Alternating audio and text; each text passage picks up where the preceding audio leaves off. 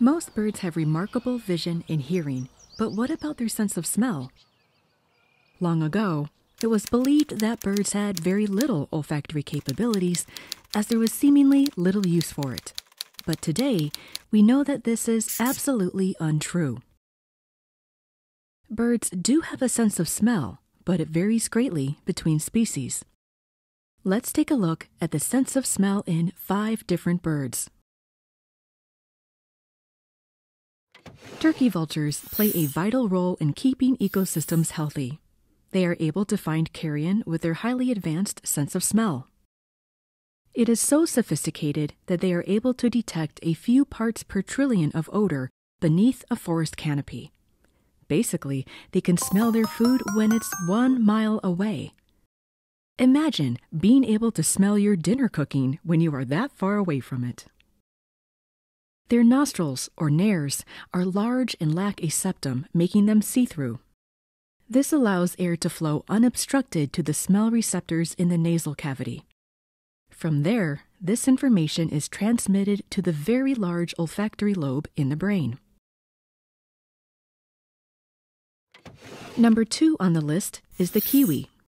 These flightless and nocturnal birds of New Zealand use their long bills to probe into soil in search of earthworms, insects, and invertebrates. Their eyesight is poor, but they make up for it with a superior sense of smell and touch. Like the turkey vulture, their olfactory lobe is enormous. They are the only bird in the world to have their nares at the tip of their bill instead of at the base. Their sense of smell and ability to sense vibrations allow them to find food in complete darkness, under leaf litter, or in the ground.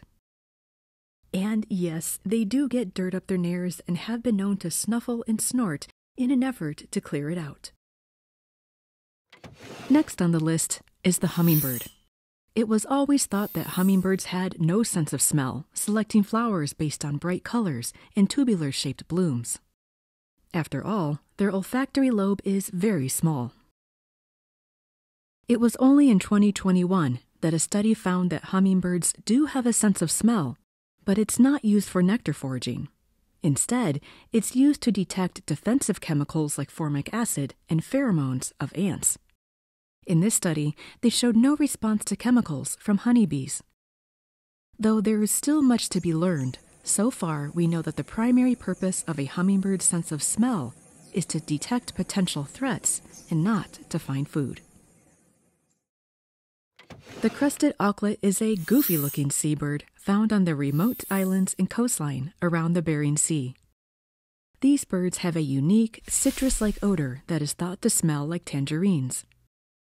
The purpose of the scent is believed to repel parasites, indicate stress levels, and of course, to attract a mate.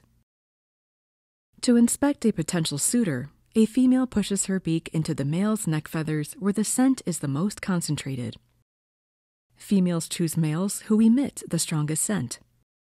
It is rare for birds to use scent for mate selection, but crested auklets have perfected this with their natural tangerine perfume. Last on the list are tube-nosed seabirds, such as albatrosses, petrels, and shearwaters. They eat mostly fish, squid, and krill, which they find through their sense of smell. The problem with these menu choices is that their distribution is unpredictable and patchy. That's not a problem, though. The squid and fish give off oils that float on the water, which then draws in the birds. But what makes this all the more incredible is that the birds can smell this from about 12 miles away and when krill are eaten by fish, they give off chemicals, also letting the birds know the location of both. This topic is simply fascinating, and there is much more to explore in the world of avian olfaction. What other birds do you think should be on this list? Let me know in the comments, and maybe I'll make a part 2 to this video. Thank you for watching. That's all for this time. I'll see you again soon.